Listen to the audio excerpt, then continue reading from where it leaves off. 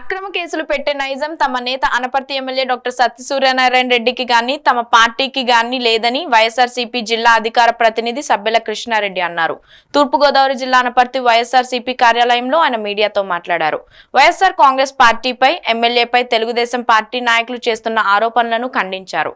ఈ నెల పద్దెనిమిదిన అనపర్తి మాజీ ఎమ్మెల్యే నలమిలి రామకృష్ణారెడ్డి సమీప బంధువు తేతలి సత్యరాజారెడ్డి అనుమానాస్పద స్థితిలో బలభద్రపురం కెనాల్ రోడ్డుపై మరణించడంతో అతని రెండవ భార్య మాజీ ఎమ్మెల్యే రామకృష్ణారెడ్డిపై పోలీసులకు ఫిర్యాదు చేశారన్నారు.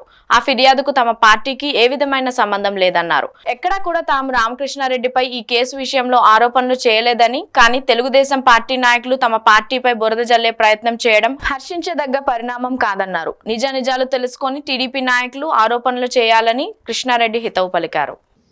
ఎంతో మంది వైఎస్ఆర్సీపీ నాయకులు కార్యకర్తల మీద అక్రమంగా కేసులు పెట్టారు. ఒక అనపర్తి నియోజకవర్గంలోనే కాదు తూర్పుగోదావరి జిల్లా అలాగే ఆంధ్రప్రదేశ్ మొత్తం అంతా కూడా అనేక అక్రమ కేసులు పెట్టినప్పుడు మరి ఈ రాగాలు మీరు అప్పుడు ఎందుకు పాల్గొలేకపోయారో నాకైతే అర్థం కాదు.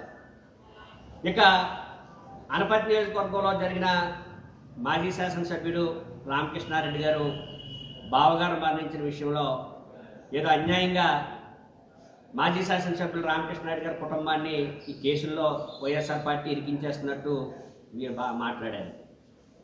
మరి ఇన్ని సంవత్సరాల రాజకీయ అనుభవం మీరు మీ స్వతహాగా మీరు మాట్లాడలేక ఇక్కడ మాజీ ఎమ్మెల్యే రామకృష్ణారెడ్డి గారు ఆయన దగ్గర కిరాయికి పనిచేసే అసిస్టెంట్లో స్క్రిప్ట్ ఇస్తే ఆ స్క్రిప్ట్ మీరు యథాతథంగా చదివేశారు.